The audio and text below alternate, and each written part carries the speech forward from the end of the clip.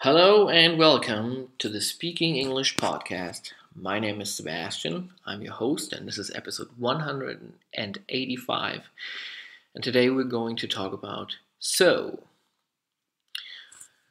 And first, we're going to talk about the word S O W, to sow, which means that uh, you go out into the field and you put seeds in the ground you have some seeds in your hand and then you make some kind of shaking motion and you sow the seeds.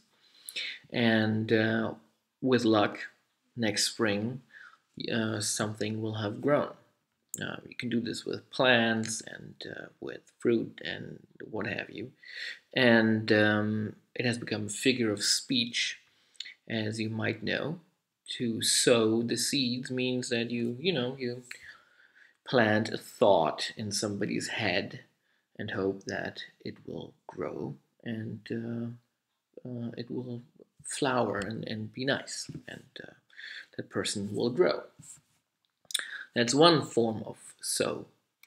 And then you have to sew um, S E W, and it's pronounced just the same way. So, and what that is, is if you take a needle and thread and um, you make a garment or you fix a garment better.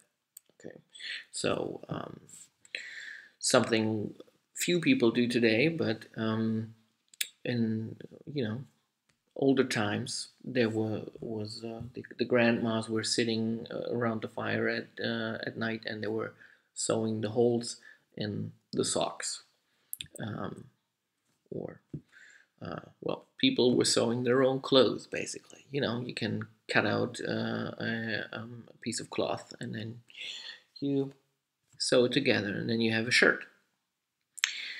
And then you have another word that is also spelled S O W, but is pronounced sow, and that is a female pig, the sow, um, or it doesn't have to be a pig, it can also be um, other uh, female animals.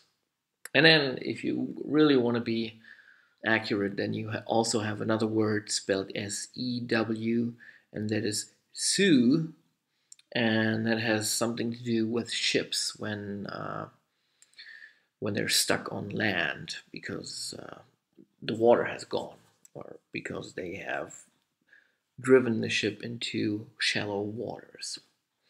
Um, anyway, that's so. S O W means to do with the seeds, and S E W has to do with the needle. Unfortunately, both kind of have the E in the explanation, so that mnemonic doesn't work, but you'll figure it out. All right? Thanks for watching. Take care.